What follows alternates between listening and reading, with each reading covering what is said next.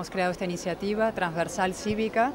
que se llama Libres e Iguales, con el objetivo de movilizar a los ciudadanos españoles eh, ante un debate que les afecta profundamente, afecta lo más importante que tenemos, que es nuestra condición de ciudadanos libres e iguales, que es el debate planteado por el nacionalismo catalán, han planteado un debate que lleva a la ruptura de las bases de nuestra convivencia y a la ruptura de nuestra condición de ciudadanos y consideramos que cuanto más personas, más españoles se impliquen y se comprometan en este debate, mejor.